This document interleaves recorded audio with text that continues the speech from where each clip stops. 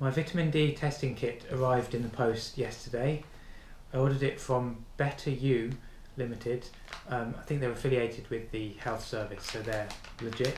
And I used them last year. costs about thirty pounds. Was it for no thirty pounds? Yeah, and that's um, I think pretty standard. You won't get it much cheaper than that.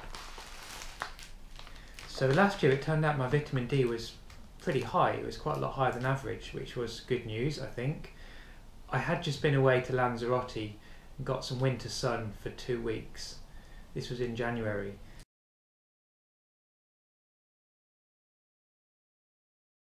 So this year will be interesting because I haven't been away, although I have been out in the sun. It's an interesting question as to whether you can synthesize any vitamin D from the sun in the UK at high latitude, obviously, at this time of year. So if you, if you can't, it might be that my vitamin D is a lot lower this year. Unless somehow my diet and my genetics storage of vitamin D from the summer means that it's kept reasonably high. So it says vitamin D test pack contains one blood spot collection card, that's this, one Alco wipe, one single use lancet, prepaid envelope, plaster.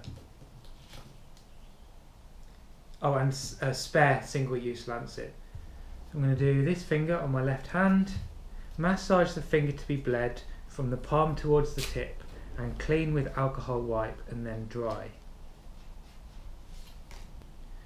So massage it from the palm towards the tip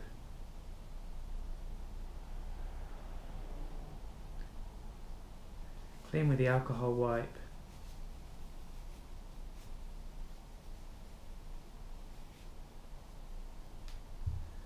And then dry.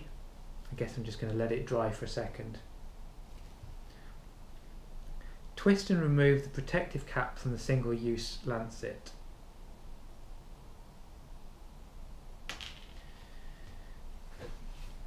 Press the white tip firmly against the side of the cleaned fingertip pierce the skin. See picture B. Okay, so just got to do it. Here we go. Ouch. Wipe away the first show of blood.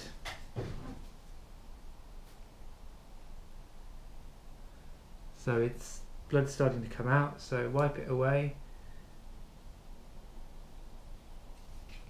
Gently squeeze the finger and allow up to four. This is annoying. This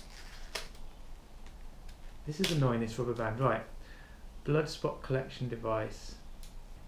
Gently squeeze the finger and allow up to four large drops of blood, at least as big as the size guide, to fall onto the card. So I guess it goes on this strip here.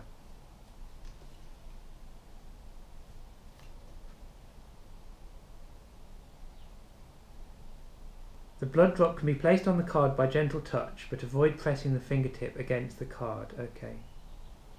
That's one. It says up to four.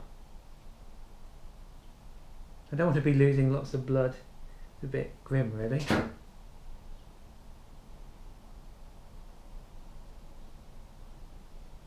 Two.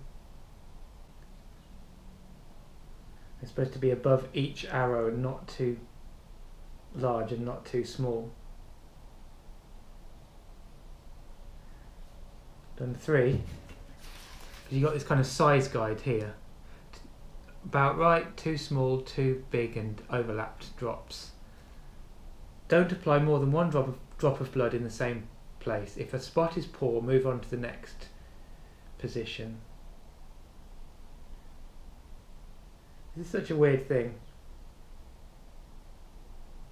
Right, number four. So the fingers Got a decent amount of blood on it. There's my four drops. I think I've done a pretty good job there. Cover the finger with plaster. I think I'm going to wipe it with the wipe first. I should really have filled in my personal details first on the card where I put the blood because I'll have to do that now and make sure I don't contaminate it. put that on fairly tight, maybe it'll stop the bleeding.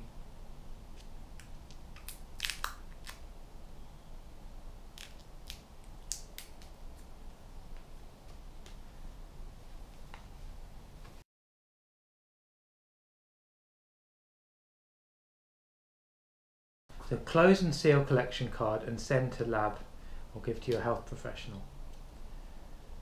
Fold over and seal by pull, pulling off glue strip.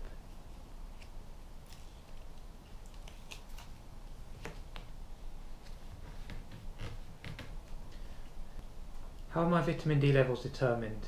The vitamin D level in your blood is determined using a mass spectrometer which can look at substances in blood at very low levels. The lab is fully UK accredited and the quality of the vitamin D tests is monitored by external quality assurance.